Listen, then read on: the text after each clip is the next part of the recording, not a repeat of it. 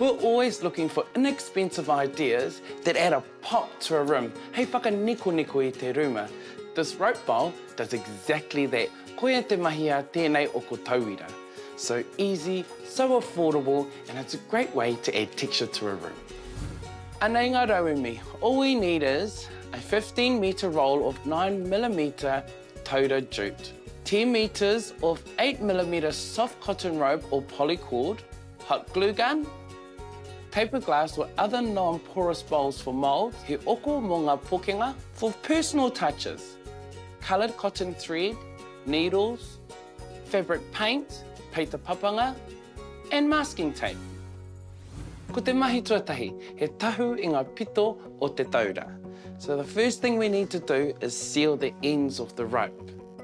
You can use a lighter to mount plastic rope, but I found that ma te pū kāpia wera ka ea. Hot glue gun does the job really well.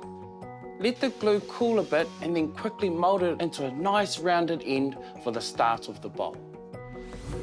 Okay, so we're ready to make the bowl. Kāti, karite tātou, ki te hanga oko. I'm using the ceramic bowl, firstly, so that the glue doesn't stick to the bowl. Circle it around into a small tight disc until the rope has gone around enough times to cover the base of the bowl.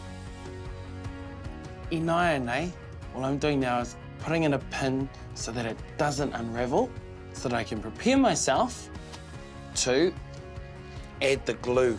I'm gonna start in the center and work my way to the outside so that the coils can stick together very tightly ki te pai here ngā taura.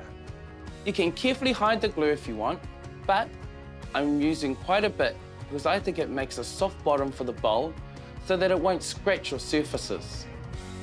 Now we can start forming our bowl. Put the hot glue along the top of the loose rope. Riringi hia te kāpio wera ki te wahanga whakarunga o te taura tangatanga. Keep pulling the rope around the bowl. Make sure the glue is on top of the rope so it sticks well to the rope above and not the bowl. Now, this is going to take a while. He wā roa tēnei kia oti ai te mahi. Thing is though, gotta make sure before you turn the bowl, before you carry on, make sure the glue cools. So glue, push it together, wait till it cools, and then hoodie, then turn the bowl and move on. Now, I've decided this is going to be a hanging basket. So I'm to make a small handle just at the top here, maybe like that. So I'm to start, stop gluing here and then start again on this side.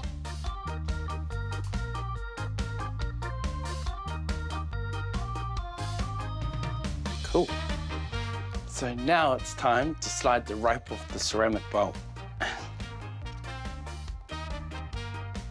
And look at that. Anna. I love how this looks just by itself, just plain. However, gonna add a little pizzazz to it. So I'm just gonna add a little bit of color around the handles. Plus, it's gonna secure them as well so that they can handle the weight. And voila! There we have it. Not too much color, just a hint. I'm just gonna hang this one over here. So with the other half of the rope, I made just a fruit bowl like that. Simple fruit bowl. However, it's gonna be a fruit bowl with a little bit of attitude. I've got metallic fabric paint that I'm using. Just adding a strip of copper around the edge of this one. Ki te o tēnei, na? Now dry, baby, dry.